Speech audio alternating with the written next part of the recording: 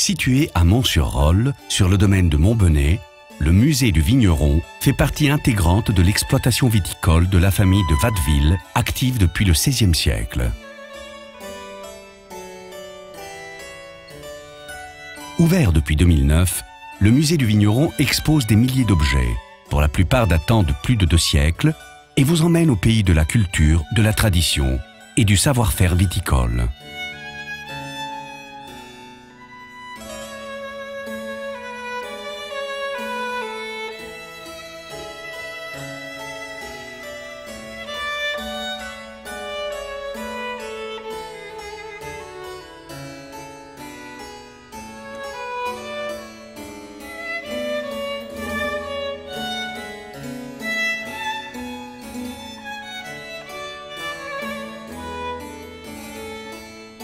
Pour terminer votre visite en beauté, arpentez un parcours de 6 km dans les vignes de Mont-sur-Rolle. Le chemin est accessible à tous et vous aurez l'occasion de découvrir pas moins de 12 cépages.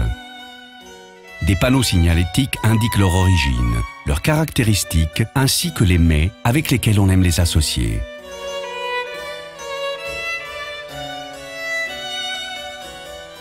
Pour clore en beauté votre journée, pensez à déguster les grands crus du domaine en compagnie du vigneron.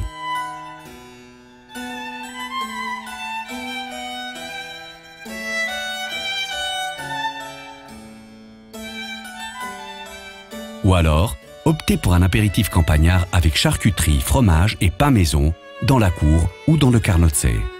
Ouvert le samedi et sur demande, le musée du vigneron saura autant faire frétiller vos papilles qu'étancher votre soif de culture.